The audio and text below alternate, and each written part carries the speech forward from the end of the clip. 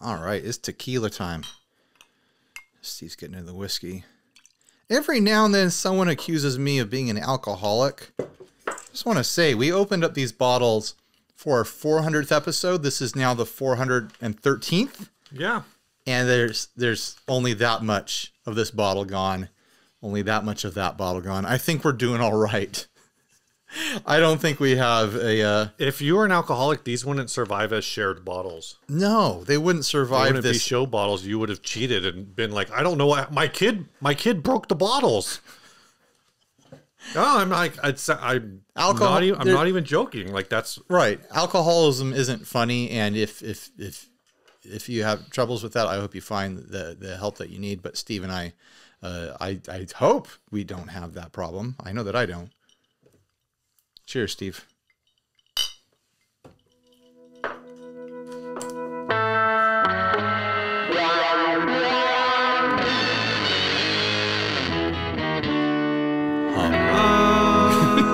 I'm harmonizing.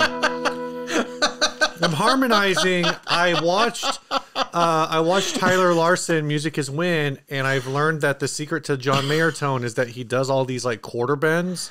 He does quarter note bends. So that I was doing that with my voice. Yes, yes. Um It was it was just a lot louder than what I was doing, and it came on very strong and very fast. Uh, all right. Uh, a couple weeks ago, January 7th, a couple weeks ago, Guitar Center came out with their 13 musical trends of 2022. They emailed this to me, and I immediately they emailed it to you? They emailed it to me, and I imme- immediately sent Steve the link because like, here's a topic. Let's talk about this. I didn't even read through all of it. I was just like, Guitar Center is dropping some hot predictions on us. Let's talk about it on the podcast. Uh, number one, high performance electric car, high performance electric cars. Uh, high performance electric guitars become more affordable. You know, this is such an innovation considering that just only a few years ago we were all relying on diesel guitars.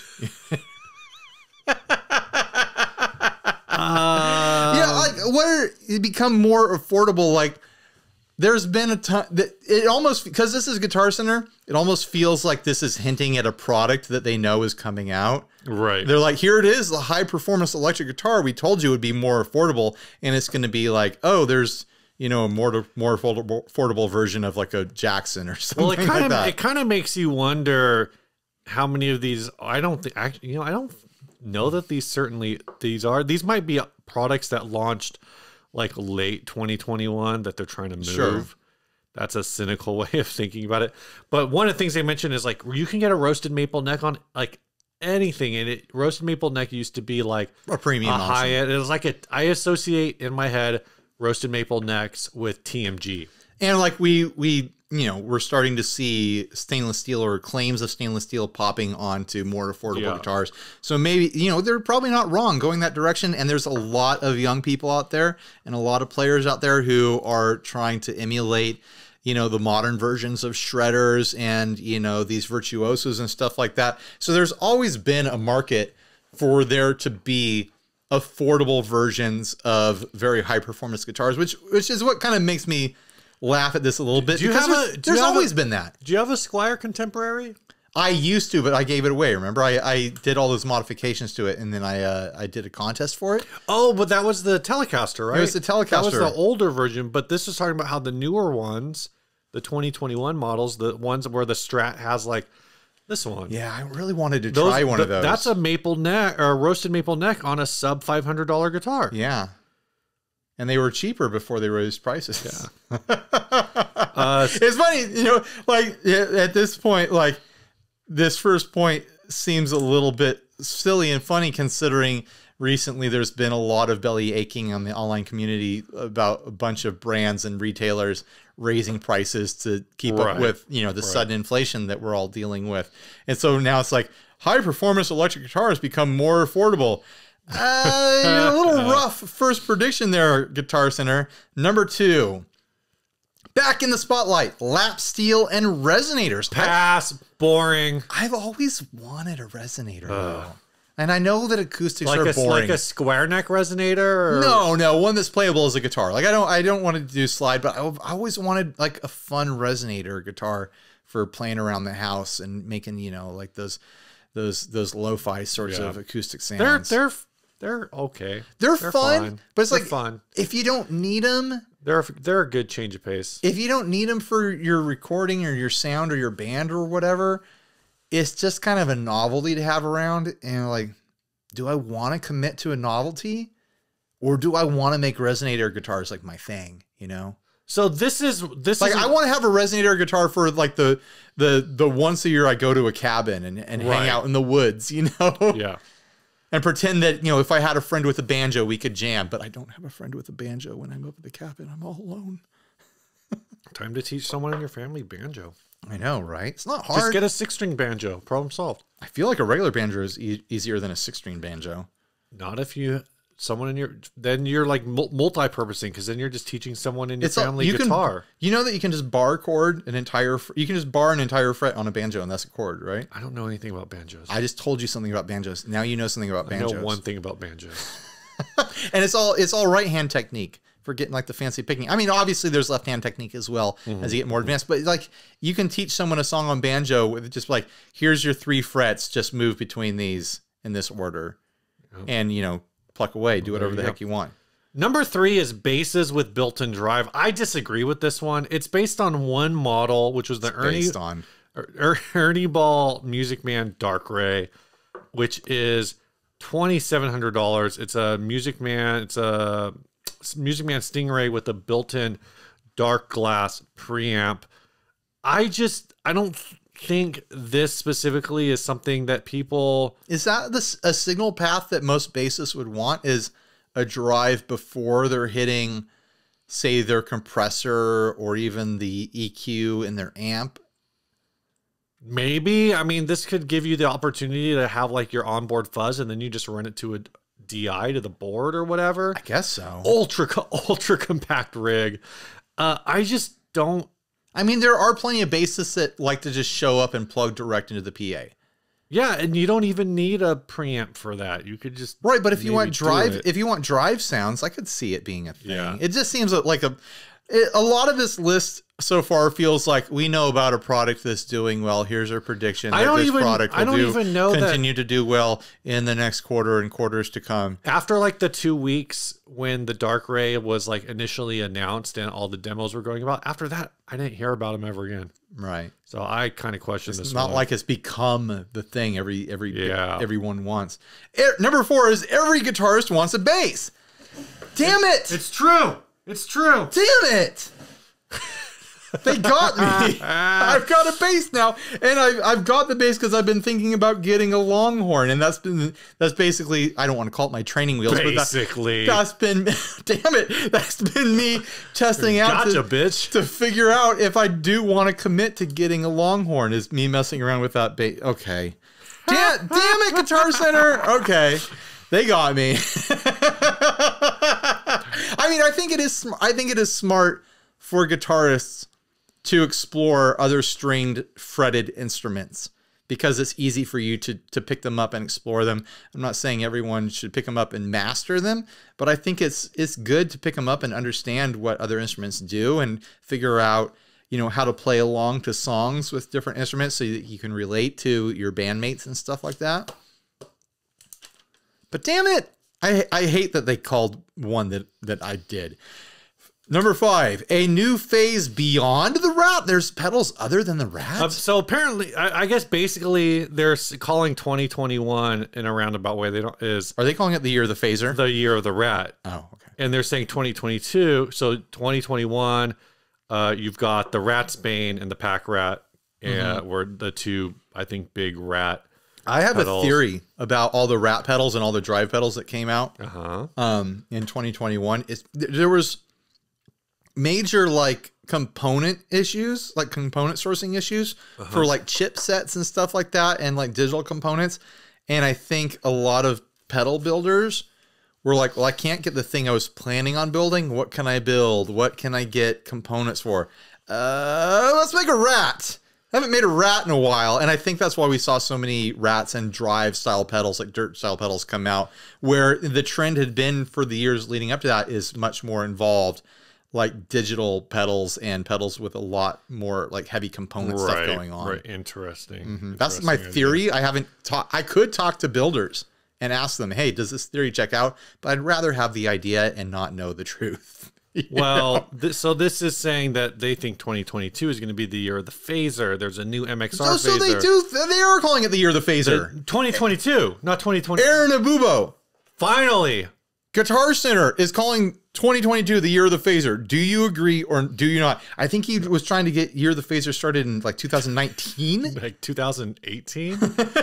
yeah, they say we think a prime candidate for the next resurgence in this area is another vintage sound, the phaser pedal. It makes me wonder what they. Okay, so modern user. Okay, the new MXR Deep Phase and JHS 3 series, excellent starting point. So they're calling out uh, phasers that just came out, but it makes me. It honestly makes me wonder if they're like saying, "Hey, we know, we know that you know, the manufacturers are telling us that they, want us to They- order a bunch of phasers." just know what they have a lot in stock. Right. They know what's coming in because they already ordered a bunch of it. Like, guys, phasers are going to be a big deal because we just ordered 20 pallets of phasers. So I hope you guys buy them.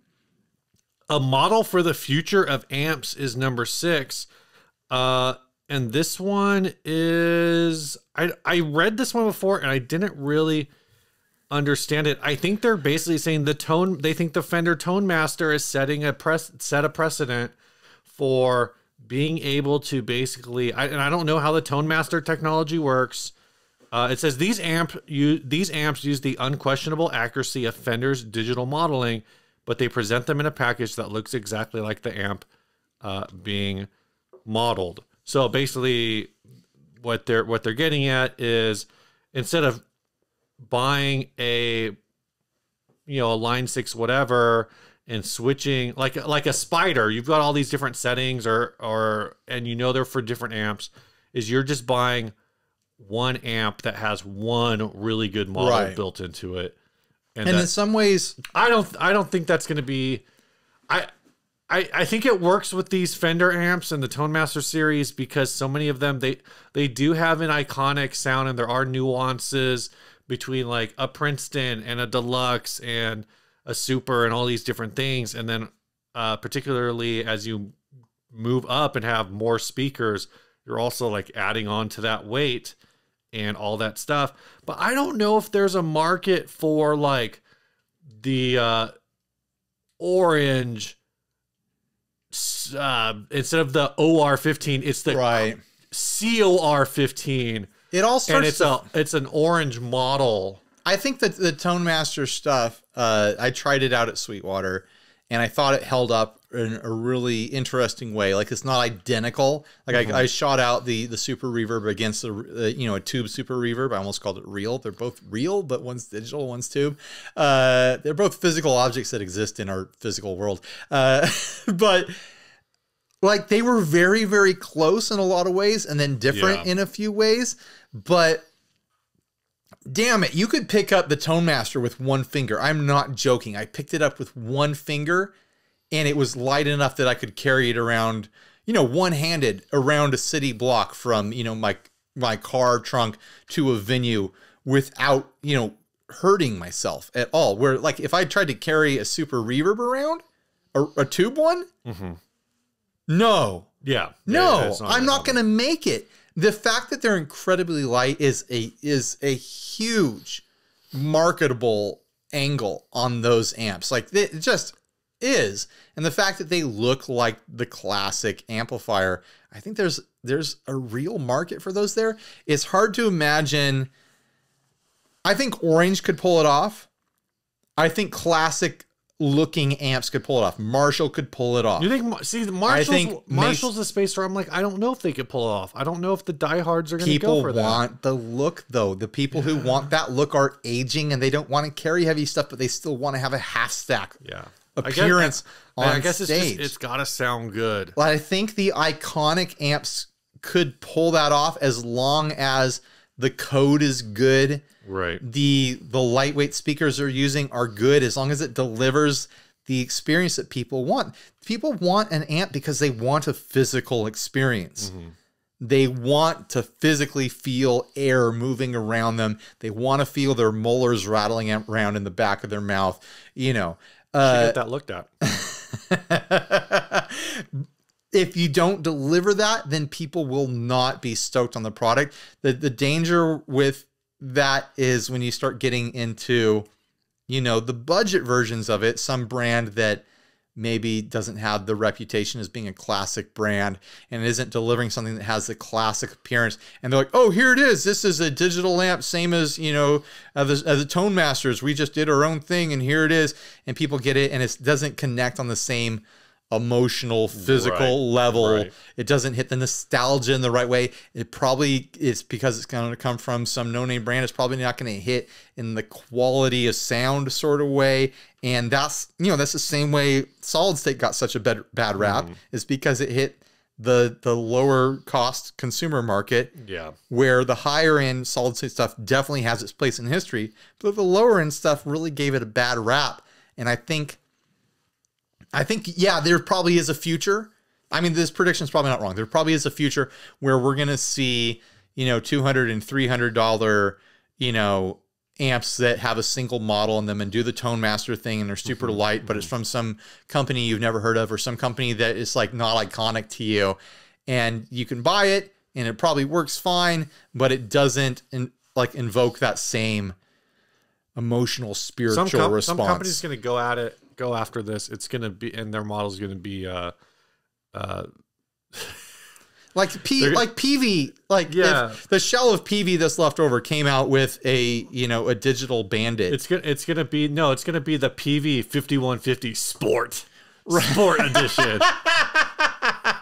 That's a good point. And they told the technology is totally there that they could do a 5150 digital tone master style thing, a half stack that's Yeah. super lightweight. But is that audience going to buy that? Like, I mean, Peavey's still a big brand name for that. Like, Yeah. and the 5150 is still a br- big brand name for that. Like, I was I'm, talking to I'm thinking more like crate level, you know? Yeah, you got to get that classic crate tone. It's a crate, the crate blue voodoo Sport. Number seven, everyone's a producer. I don't have anything to say. This is going to be all this. about home recording and home yeah, oh, producing. cool. Record at home, guys. Make a podcast. Yeah. we believe in you. It's easy. If we Yeah. can do it, you can definitely do it better than us. You Just just, have to be persistent and not quit, and eventually people will accept you and, think and that you're click important. click on the Sweetwater link, and then buy a Rode, a Rode, whatever the hell that. All your is. home recording needs, please click my links first. What Please is- just click the What the hell is that? A RODECaster. That's what it's called. Yeah. I can't remember the name of the stupid thing. The It's- It RODECaster. is great. I do. No, it, no, the RODECaster has been fantastic. Is.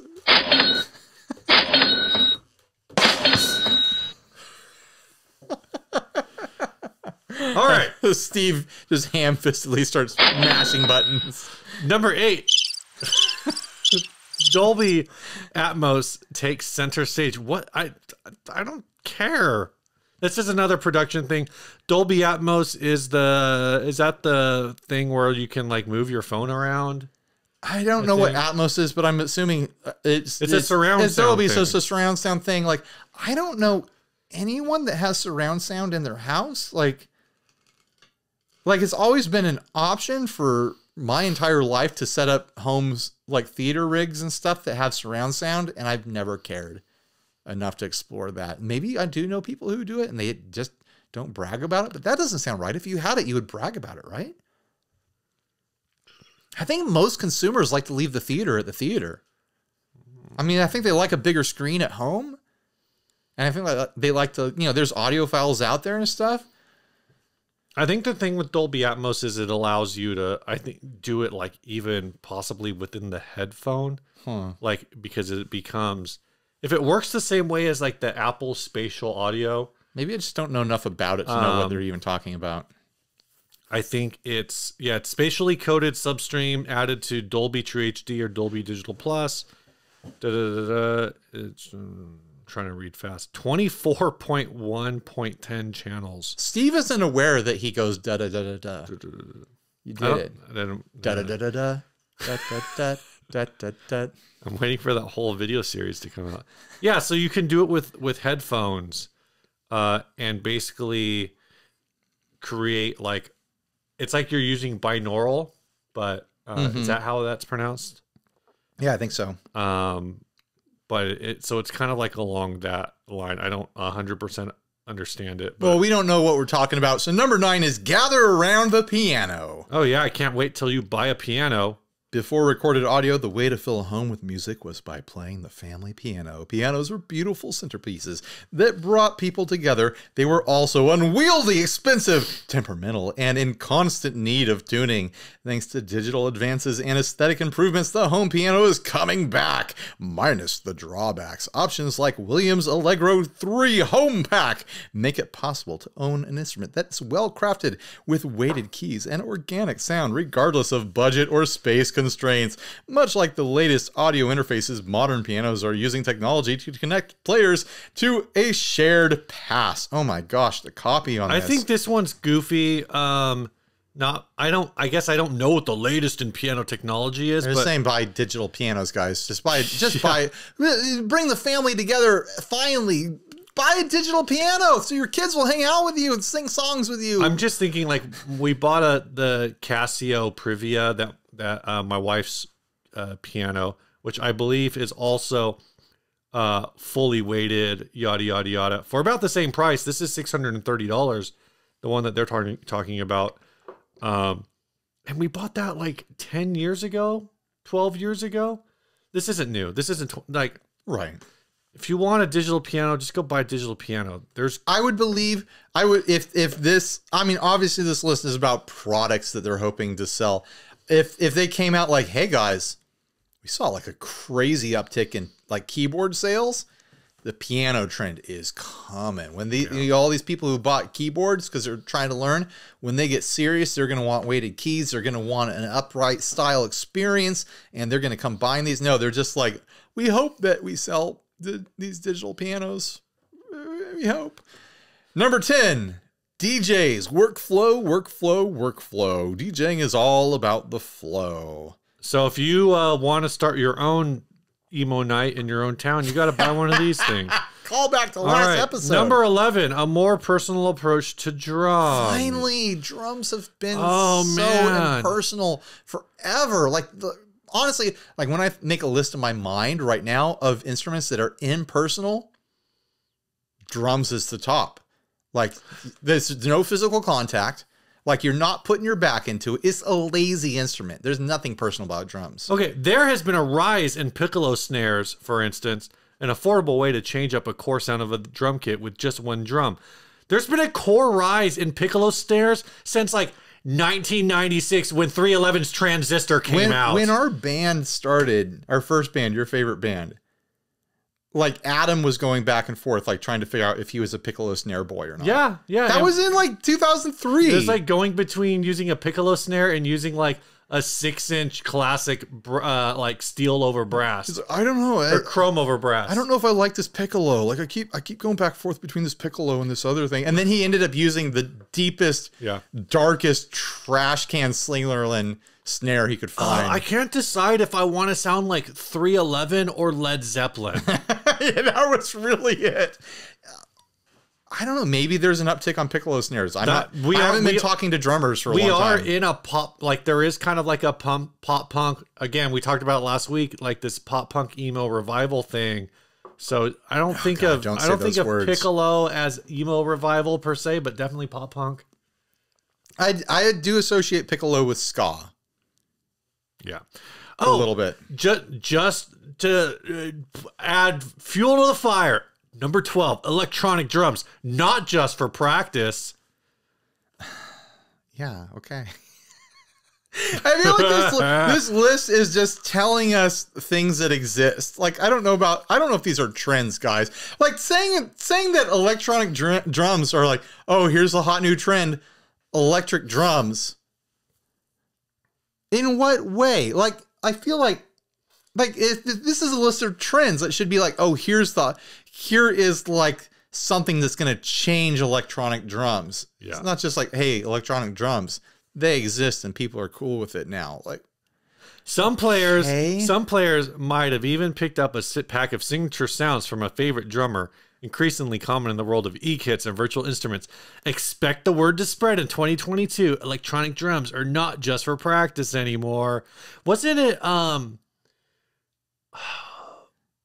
was it Neil Peart who had like a hybrid kit? So I think he had like live cymbals and then electronic like tom and snare and then I, for, I I don't maybe it wasn't him but like the idea of using like a hybrid acoustic electric kits is is uh like classic large kit whatever number And 13 There's always been there's always been people who add in like you know the electronic pads on the side for Yeah. various sound effects and stuff. Yeah, number thirteen is like like you didn't they didn't think anyone was going to make it to the bottom of this list.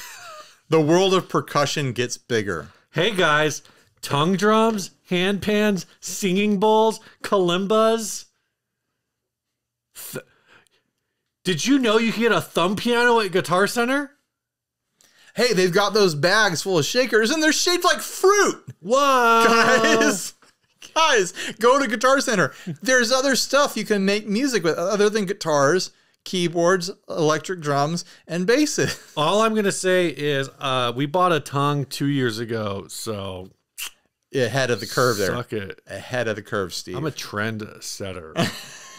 well i've got an electric kazoo so deal with this list was this is not predictions this is just like hey remember these products exist I do, uh, I do like they what they end with, which is, uh, if it sounds good, it is good. Basically saying like, just Isn't go- that just a take on Andrew Zimmern's catchphrase from from Bizarre Foods or whatever? If it tastes good, eat it. Like that's what, what if they it- said. I don't know. I, If I- it sounds good, play it. but it's just like, right. yeah, it's like just go, just go make music, Yeah, whatever. just stop. And a link. I was hoping that list would be more exciting. I was I was hoping for Did like you know Guitar Center has a demo channel with one million subscribers? good for them. Also, they recommend they highly recommend Josh Scott of JHS Pedals. What does he even know about gear? Nothing. He knows. I talked to him personally. He knows the whole time I asked him about gear. He knew nothing. No, Josh knows. He's a so lot. he's so tall I can't even hear anything he's saying. it just goes right over your head. All right, this first I was just like, I'm. I feel. No, I we're- was we're still talking about I this. was hoping for bold predictions of the future. I was gonna. I thought it was gonna be like electric amps. Uh, guitar amps are gonna be powered by crystals. yeah, yeah. Well, it's Time travel, guys. it can't it's be coming. that bold because it's 2022 I know, but still, So like, the- most of these predictions were about as bold as you know somewhere around May, uh, Business Insider or Forbes or whatever. Uh, Guitar World is gonna post an article saying like, "Is Guitar Center going out of business?" so the last one should be Guitar Center will still be in business December 2022. Bold prediction. Uh, no, I, I, I was, I was, you know, I know it wouldn't ever happen. I was hoping for like number 12, complete economic collapse. Everyone makes ukuleles out of human skulls. All right, this first also, ad- listen in for next week's episode. Welcome to 60 Cycle Hum, the guitar buying, selling, trading, modding, fixing, breaking, reviewing podcast brought to you by Guitar Center. Oh man. You know, we have a pretty good relationship with Sweetwater. yeah. So, Guitar Center, you got to come in with a spicy bid. That's all I'm saying. Hot. Hot. You got to come in real hot if you want to buy us out. I'm not saying we're not for sale. I'm saying got to come in hot is all I'm I'm, not saying, saying. I'm not saying we're not for sale. I'm just saying all of our affiliate links go to Sweetwater. So. Not all of them, but I'd prefer it if people did use this, the Sweetwater affiliate links. All right. Um, uh, man, this, this, is a Snake Pit guitar. It was sent by Nick Orman, 1977 Gibson Les Paul Snake Pit slash signature serial number SL. Probably stands for slash Probably. 05X. Then it says Yamano. I don't know why it says Yamano. Uh, I don't know what that means. What do you think about this guitar, Ryan? Do we need to describe it? This guitar is red. It's got kind of like a flamey thing. It's got white pickup rings.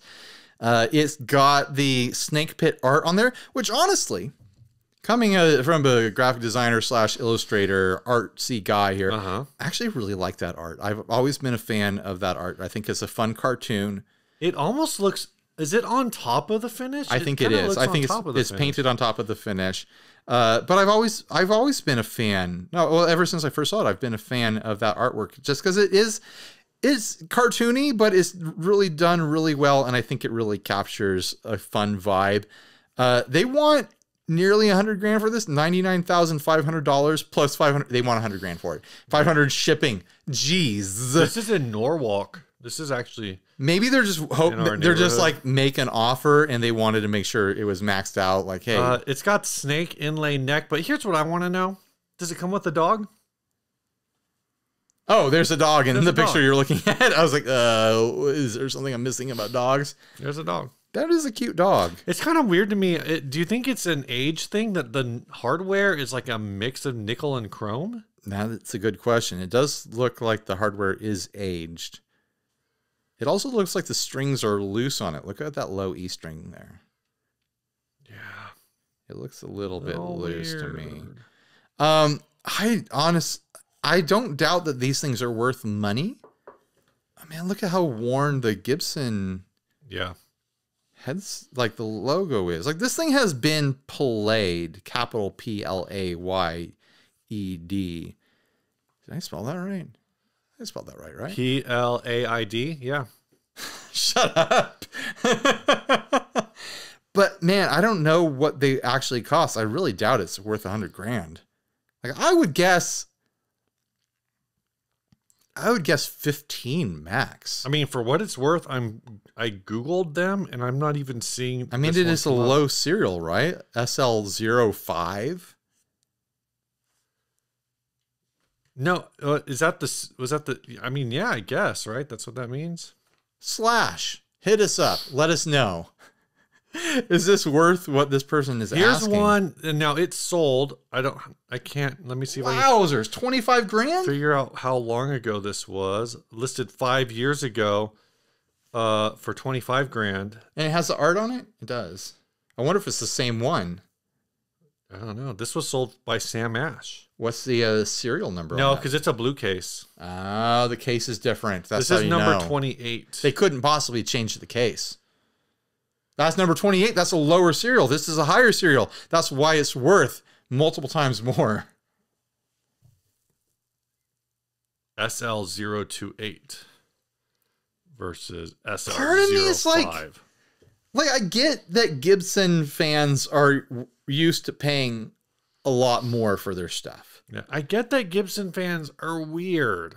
And they're kind of weird in that direction. That that that very high prices. These are five five digit prices for for guitars. These originally sold for five grand in 1996, 1997. There were a hundred made. but it's also baffling to me that that one could be worth 25 grand. Trogly did a counterfeit one on his program. 25 grand and this is from Slash's Snake Pit era. This is not from like I would almost understand 25 grand, a hundred grand for the guitar that he played in Guns N' Roses. Maybe it was in music videos. It was a stage guitar for him. I could see someone who's got money What now is- what is to throw the- around to be like, yeah, I'm gonna get that Guns N' Roses guitar. I don't. I don't personally have any nostalgia for the Snake Pit era stuff. Slash's Snake Pit is a super group. I didn't know this. Right. I'm gonna be educated right now. Uh, I vaguely know a little bit of uh, like I get, I don't have any songs in my head connected oh, to it. okay. So it's uh, Guns N' Roses. So it's Slash, Guns N' Roses drummer and guitarist. So Matt Sorum, Gilby Clarke, and Alice in Chains bassist Mike Inez, and former Jellyfish. Who, who's Jellyfish? Do you know? He used to be a jellyfish. He's not a jellyfish anymore. Uh, Steve. live guitarist Eric Dover yeah, I don't, I'm not familiar with that band. vocals. Someone's gonna get mad at us Eric because we don't know who jellyfish Eric is. Eric Dover is Ben's brother. Shut up. No, it's a super. It is a super group sort of thing, which is fine. It's cool. Like I remember when that was all going on. I don't think I've ever once in the eight years of us doing this podcast run into someone who's like, oh man, I just really love Snake Pit era slash stuff. Yeah. And we've seen people talk about all kinds of stuff that they love that's outside of our wheelhouse, which is great. We love having a you know diverse group of people in our uh, in our community. How how many freaking times did Trogly make a video about a fake snake pit? Probably every time that he could get good clicks on it. There, it was at least twice, three times. That that means Three. There's three videos. that means he's either trying sincerely to buy a real one and blowing a lot of money doing it, or he is intentionally buying counterfeits to make content. at fifteen thousand dollars a piece or something. I don't know. Anyway, I don't know a lot about this guitar. I don't know anything about this band slash a snake pit. I kind of just don't know anything. And that's okay. Not We about this, at least. We don't have to know anything, but the the price is the prices are the price right? seems bonkers. If Sam Ash sold one five years ago for twenty five k, then I could see this maybe being like thirty five k now. Or, but It's a hundred grand is is bonkers. I feel like a hundred grand. You're right. Like a hundred grand is like Guns N' it's Roses got to be the Appetite for Destruction guitar, which Right. isn't, which may or may not even actually be a Gibson, right? like I could see someone paying fifty grand and up for the BC Rich that Slash used to play before he started playing a Les Paul, because he used to play. yeah, right, He used to play BC Riches before playing the Les Paul right. in Guns N' Roses, if my memory serves me correctly. People who want to correct me, let me know in the comments. Like I could see that being like, oh man, this was the guitar he played before, and I'm gonna pay 50 grand, I'm gonna pay 70 grand. I could see that happening. But not for this. I don't get it. I don't get it. someone enlighten us. Why why is a snake pit guitar worth so much money? Just money? because it's Slash, man. it's just slash. Slash. It's just slash. Mark and Nisi, hit us up. Let us know. Yeah. All right. This uh, episode is brought to you by Big Ear Pedals. They make the woodcutter. Mm-hmm.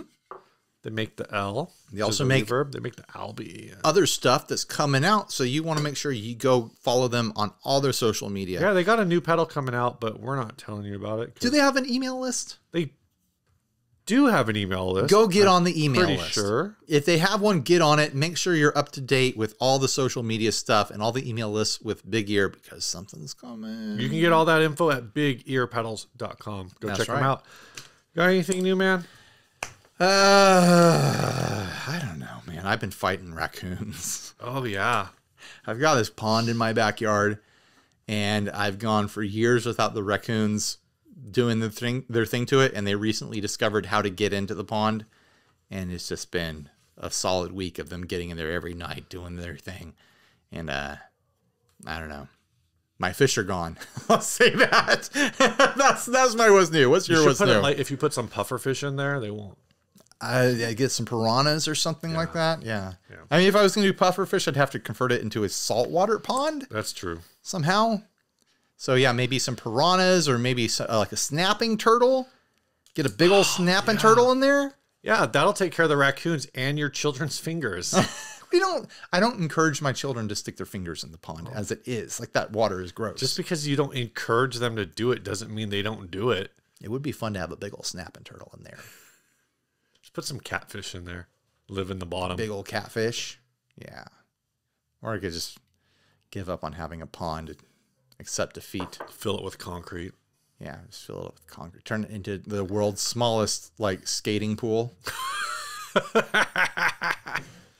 just empty it out and skate a little skateboard around in there. Yeah, dude, I saw this. Uh, I watched this uh, video the other day. That was just a dude, like thirty something year old dude, like who built a full scale, like probably this size of this table and some more, like tech deck Oh my gosh. scenario. You could do that I interviewed for a job at Tech Deck.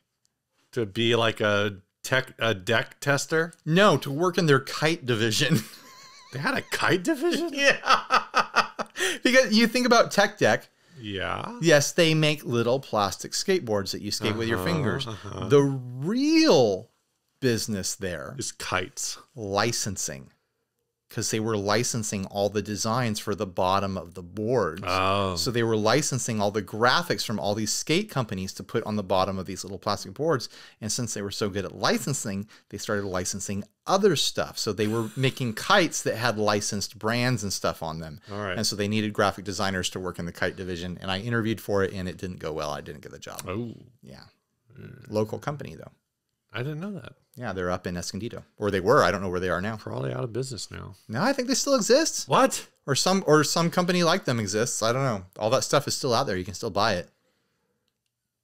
All right. Okay, I've been thinking about this a while. Here's my what's new. It's All not- it's not really what's new, but it's a it's a thing I've been thinking about. So uh, this channel early on uh, was hold on, let me finish. I need to finish this. Sure, before, sure. Before we get into this, This tequila is excellent, by the way. I, I need to buy Uh, more of this when this runs out, which might take us, you know, another 20 episodes at I this should rate. I should switch. I I have only had that tequila once. Tequila Ocho. I've been Um, really enjoying it. so I've been thinking about early on. You know, we were frequently lambasted uh, for not knowing how to say tremolo. Tremolo? Tremolo. Tremolo? Tremo- well, because I think we both said tremolo. Like we just Right. moved the moved the emphasis to the wrong to the syllable? wrong syllable, and uh, and so that's that I kind of understand because tremolo. Like I guess there's really only one way to say it, and it's a unique word, right? Right. Tremolo. There's no other word like tremolo. I'm calling out Here we go. flange army, flange army, whatever. Flange? I, is it? I don't know if it's a flange pedal, a flanger pedal, or a flanger pedal. I think I, it's supposed to be flange. I don't know which one's wrong. I sincerely think it's supposed to be flange. and so people say, well, you know, flange. It's like flange, flange, whatever. It's like the mechanical component. Right. But I looked that up, and it, according to like Oxford or whatever, uh, it's acceptable both ways. But that's neither here nor there. Uh, because here's the issue I have is if it's flange, okay, let's say it's flange, which I guess would make sense because it's home on the range, and Eric Clapton changed the world. Home, And- home on the flange. So that makes sense if it's flange. But there are like words that I was thinking about like that have that spelling that are ange words. Uh like orange, like the color Right. is orange. Yeah. Maybe it should be flange, like orange. Flunge. Orange, flange. Flange. Flange. Flange. Trying to work that one out. Flanger, flanger, flange, A range. Oh no, a range is range. flanger. It's a flanger. Flanger. Flanger. Maybe it is. Is it flange? I in my head like people The more you think about it, the weirder it gets, and then it does. It's not even a real word anymore. Yeah, I, I just in my head like we always said flange, and people be like, no, it's flange, because it's like, oh, your fingers are phalanges, right? It might be phalange. I I prefer to say flange though. I I'm just saying like I think I think people should cut us a little slack because I think we should cut everyone a little this slack. is a word that can go both ways, you know. It can go a lot of different ways as long as you understand what the person is trying to say to you when they say a word. Like, you don't need to correct people's pronunciation. Like, if you understand it, then you understand it. Like, a lot of people learn words by reading them, not by hearing them these days. And so people say things in different Yeah. ways. There's also regional dialects, which are completely legitimate. Unless you're from the south. I'm kidding. I'm kidding. Actually, I, we were we were actually talking No, about that the at work the other day. southern southern people have a beautiful way of talking. The the flange and flange thing. Southern though, was like- Californian people. Yeah. Uh, the flange and flange thing was like really like I was just thinking about it, and I was thinking about all the other words that are like like you said, change and flange and arrange and, and whatever. Derange. derange. Uh, but also like words that kind of don't have that like that are ange. I I feel like there were other ones, but all of a sudden like I'm just like my brain is not You know thinking of any of them. My my son, who who is seven, has been learning to read, and Yeah. he's he's doing well. I'm proud of him. Um, but he, it, every night um, he's supposed to do half an hour of reading with us, Mhm. and That's a lot of reading. it is a lot of reading. But you know, we're trying to get him caught up because of COVID times and stuff like that. and Right. in second grade and whatnot. Um, so we sit with him, and you know, I, I watch him read a book, and every now and then he hits a word where he like struggles with it, and I look at the word and I'm like, Yeah, no wonder you can't say that word. That's that's spelled crazy.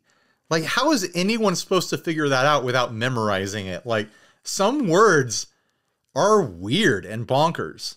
Oh yeah, yeah. And they don't make any sense at all. And I'm like I don't I don't fault you for one second for not knowing how to say this word. My- Like, I wish my- I could think of an example right now. Well, my favorite is, and this is not a second grade book word, but my favorite is, uh, well, one of my favorites is, uh, of course, uh, Colonel.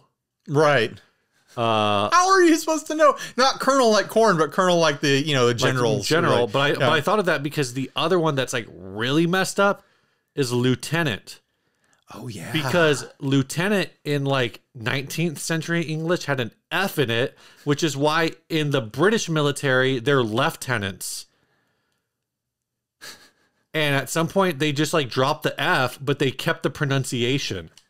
right. And it's just like, are, are you freaking kidding me? All right, let's move on to guitar stuff. Flange, People are gonna get mad. Steve. People are gonna get mad if we divert from guitar content at all for any amount of time, for any reason Hey, speaking whatsoever. of guitar content, this episode is brought to you by Chase Bliss Audio. Go to chaseblissaudio.com with the digital brain and analog heart. Chase Bliss Audio makes pedals that are more creative than you are. they have a mood for every mood. Go check out the mood. All right, this next ad was was a sent. fast sponsorship. That's the way they should be. That is right? how they should It is be. the way they should be. We've been giving them too much sponsorships. Really, it's not we that have. we've been giving them too much. It's just like sometimes you just got to get in and get out. You guys get it. Chase Bliss is awesome. You're gonna buy one someday. You, you you've made the promise by committing to watch his show. We know that you've promised that you're gonna buy a Chase Bliss pedal someday. So thank you. This was sent by Mark DeBrune.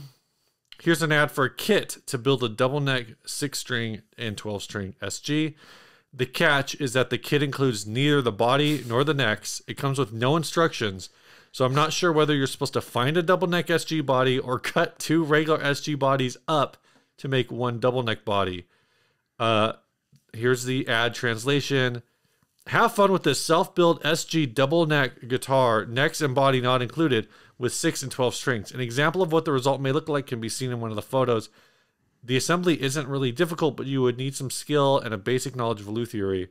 Instructions aren't included, but it's mostly straightforward. Uh, it's not hard to put this together. You just have to be a luthier. You Yeah. know, you The- just have to you just have to be a guitar builder, and then you can just do it. So don't don't worry about it too. Don't don't think about it too hard. If if you know how to build a guitar, you're going to be able to build this. Uh, the kit- everything's included except for the entire guitar. The kit includes large bolts and neck plates, so it seems this is for a bolt on. This is, again, Mark's commentary. So it seems this is for a bolt on neck construction. All the hardware looks pretty basic AliExpress stuff. Uh, I would agree. And in fact, the picture that is in the that's like, oh, look at this, looks like something from AliExpress or Yeah. GFS or something, you know. And uh, he says the only thing that's specific is the uh, is the little pick guard piece that goes in between where the switches are located. So basically, what you are buying is all of the hardware to build one six string guitar And one and one string 12 guitar. string guitar. You could put them together if you want. Like you don't have. Yeah. To, you you can make a twelve string if you want. You could make two guitars if you want. Honestly, like you've got with all the tuners and stuff, you you actually got enough tuners to make three guitars. So maybe make three guitars. I got a I got a better idea. Make one 18 string Oh my guitar. gosh. Oh my gosh. So what what I'm imagining happened here is someone bought a kit Yeah. and they're like, I just want the body and the necks. I don't. I've got my own stuff. Like this stuff is cheap. I don't want to use the pickups, the oh. hardware, whatever. I'm gonna go premium with the hardware for some reason. And so they kept the necks and the body. And they're like, well, I gotta sell all this stuff. This stuff is valuable. I paid for it.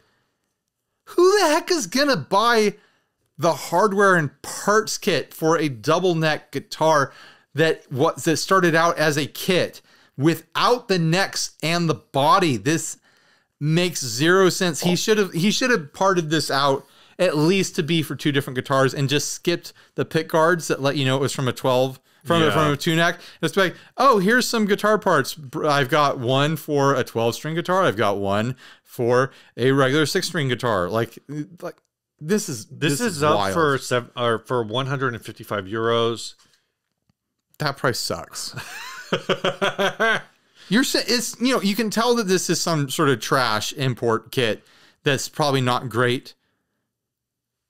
I This just like how you're like, this sucks. no, this guy wants to charge 155 euros for four trash humbuckers. this is balls. you know, a bunch, uh, you know, a pair of bridges and stop tails, and some knobs and pots and some tuners, and he wants to charge 155 bucks for junk parts. You know, like, Oh, you know what?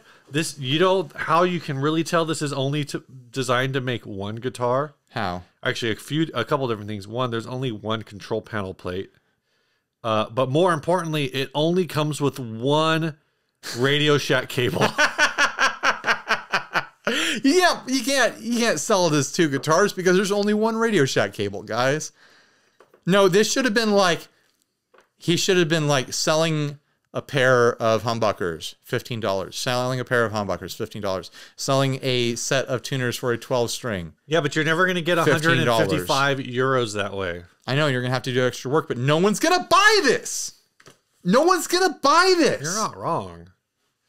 Like, there's no reason to buy this. I would just like you to be more right. Anyone who's buying parts for a 12 string guitar when they already have the neck and the body is going to be buying good parts for it. Right. They're not going to be buying the cheap parts that came with the kit. Well, we assume these are cheap parts. I think we can tell just by looking at it that these are cheap parts. There's nothing about these parts that's jumping out to me as exceptional. Like, look at those little pots. Look at those big box switches. Look at the Radio Shack cable. Look at those. look at those humbuckers. Tell me those humbuckers are good humbuckers. Those look like those look like a set of uh, Epiphone WM. 40 Shut up. I'm just I'm just making stuff up now. Um, like a, you know, like a, a stop tail and a, a Tune-o-matic bridge. Who can tell if it's good or bad from JPEG photos or whatever? oh, I'm But- I'm sure they're perfectly import. so much of so much of this is like yeah this checks all the boxes of just normal cheap budget this was a $215 kit on amazon sorts of stuff Yeah. like Yeah. and he's trying to he's trying to recoup all his money the majority of his money by selling the parts when he bought the kit just to get the necks and the body like it's not gonna happen dude all right what next Housekeeping. If you're interested in supporting this it up. malarkey, uh, maybe someday you want to contribute to buying another bottle of booze for this place.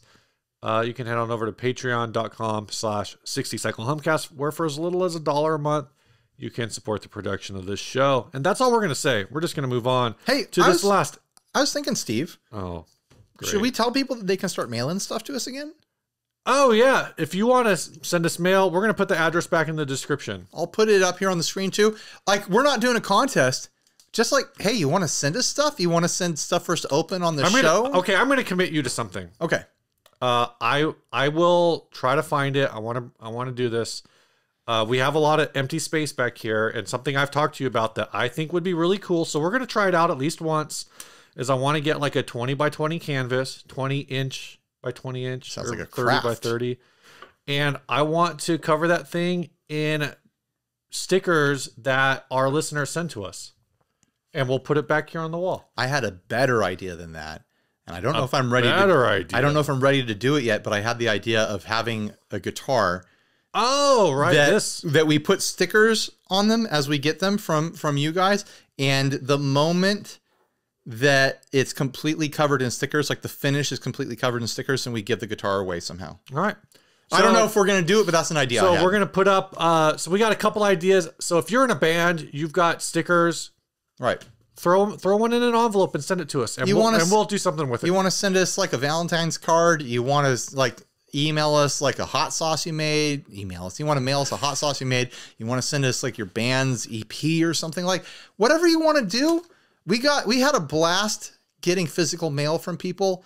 And if you have the desire to do that, we're ready to accept it. I paid for another six months of the PO Nice. box, so we're, pay- we're paying for it. Might as well accept some stuff. If you guys want to send it, anyways, like you don't have to send anything, but if you want to, there's the address. All right, last ad, Steve. Yep, this ad was sent by Marion Verscher Versch. I can't say that. Hi, Ryan and Steve. I just found this weird and wonderful Telecaster on the Dutch classified site Mark Plots. I think that's the same site that Mark uses. I wonder if these guys know each other. Maybe. you know, because like all uh all these people know each other, right? You know, all Dutch people all know each other. All Dutch people are the same person. They're not the same person. They're just from the same family. Yeah. Uh, I'm. They're all neighbors. No, this is a different website. They all This is they all meet together and trade uh, tulip bulbs. okay. So he says, uh, uh, the description says Fender Telecaster, but is it actually a Fender? It has an MIJ Fender neck and an unbranded made in China neck plate with a serial number I can't seem to find anywhere. Tuner situation is the weirdest stuff I've ever seen. Also, does this have microwave knobs? The guitar was put up by a thrift store with no asking price, and the highest bid is 150 euros at time of this 150 euros. I feel like the MIJ neck alone is worth that. Yeah, I would agree. But what is going on here? What is that thing on the on the butt end of the guitar? Is some sort of industrial clamp? What? I don't know what that is. What is that? Like, there's so much else to look at on this guitar, but what is that? Yeah, I don't know. I have no idea what that is, this is a uh, but it looks heavy. this is an MIJ neck. This may have been um from like a 70s style Telecaster, like a Right. 70s reissue. It only has four of the six original tuners, which is unfortunate. Oh, you can Uh, replace those tuners. It doesn't look like, at least I don't think the wood has been mangled in any No, significant no. way. Um, but yeah, the the two replacement tuners are absolutely uh, uh, strange. Yeah. Like, uh, and they don't look like they're attached anywhere near correctly at all. The the body is bizarre. It actually looks like it could be decent wood. Um, No, th- I think this could clean up. I think this could clean up. It's got the right amount of relicking that, like, whatever screw holes are left when you remove this mystery clamp thing, um, will probably blend into everything else that's going on. It- you know, you want a Telecaster to be a little bit beat up. You throw a fresh pick guard on here, and uh, I think it's gonna. I think it's gonna be an attractive Telecaster. I actually do like those knobs. I don't know where those knobs came from. They might be from a microwave or a toaster oven. I was getting like um I was getting like uh like portable heater vibes from them, like maybe like an electric radiator vibe from from those knobs. I I wish they were a little bit smaller and then like I would put those knobs on a guitar for sure. So this now I'm wondering if this neck plate is pr- appropriate for this guitar. Well, the neck plate says made in China, the neck says made in Japan. right, but the body, we don't know where the body's from. Uh, so the YN serial number, the possibly the YN made in China serial number is a uh, Fender or is a Squier, like a Chinese Squier model, uh, would have the CY. Though this, or not CY, the YN. The YN7, I'm a little You know, anything could have sure happened to this one. guitar. It could be a fully parts guitar where every part came from somewhere else. The body, like I said, the body looks interesting. The hardware looks like it could be Squier from that same like Oh, sure. 90s era. So I think the neck plate and the hardware and the body could be like a butter, like a this could have been a butterscotch like Affinity Telecaster Sure. that somebody slapped a made in Japan neck on, and then like at some point drug the freaking body around town behind their truck. I still say for 150 euro, it's worth it for the neck. Like the neck looks, it's it's well worn in certain places, but it looks like a good parts neck to Yeah. me. I think this guitar would be really cool. It doesn't to just take all the nonsense off. Yeah. Oh, totally. Get the right tu- get the last two right tuners. Take this nonsense off the thing. The microwave knobs are both like interesting and weird. You know, if I would love to see those knobs on an amp. Yeah. Those would be Um, really cool amp knobs. And I would say like just take I think this guitar would look really cool without if you got rid of the metal stuff and just like shined it. I think it would look you really do a cool. pick? Would you do a pick guard, or would you leave it alone? I might leave it alone. The the classic would be to be put a uh, would be to put, I can't talk all of a sudden. The tequila's working. drunk. I would be to put a black pick guard on here for your classic butterscotch telly tone, you know, T O A I'm kind of, Um, I'm kind of digging the way it looks without it. I, I I, kind of would like to see this with a tort pick guard. I think for me, I think the amount of damage to the body breaks up what would otherwise be like just solid butterscotch and because with the solid butterscotch and like black a black pit guard it's kind of like the black pit guard creates a negative space Right. in the middle of this field of butterscotch but because you have the body the upper part of the body and then even the lower part of the body kind of has all these mangled spots it's kind of already breaking up those lines You know, I like the way you're talking. Uh, what would be kind of fun is to hack in like a Cabronita pick guard, like just on the lower horn. Just, Okay. just a lower horn pick Yeah, guard. yeah. So it's like clearly aftermarket. There's clearly holes from where the original pick guard was. Like this guitar's been mangled, but then you've taken it a new direction and you just have a little bit of pick guard to break it up a little bit. all right i can And then see you that. you leave that neck pickup hole kind of open and raw. Mhm. this has heart It does. No, this this think- guitar's got a really it's got a really strong vibe underneath the this. It's kind of you know what this is, this guitar is. what is this guitar This is this is seven of nine before they get most of the Oh Borg, the Borg stuff off of her. It's got a bunch of Borg. It's got a bunch of Borg stuff on her. Uh, you got to get you got to get the Borg stuff off. There will be a little bit left. You'll be able to tell that this guitar was a Borg, but you know there's a good guitar under there, and it's going to be a good uh, addition to the to the crew. Oh, Martin, uh, Mar, Mar, Margin actually sent an update email that I did not see saying, I found out the serial number corresponds to a 1997 Squier Telecaster made by the Yako factory, which is in Taiwan. That tracks. Uh, which that lines up with what I found. What I want to know is, will they? Oh, it's gone. Oh, Maybe it oh, sold. Someone bought it because they probably said, "Hey, there's a neck. Oh man, I'm gonna buy that neck." I wanted to know if they would ship to the United States. Oh my gosh, it would not be worth it after shipping, dude. It probably cost you like a hundred bucks to ship that. Yeah. Think of the guitars you could get for two hundred and fifty bucks here. You could get a Mexican. I mean, you could get a Japanese Telecaster neck in better condition for two fifty. Yeah, but I want the whole thing. I know you I want want to do whole that pick guard thing. yeah, or no pick guard thing.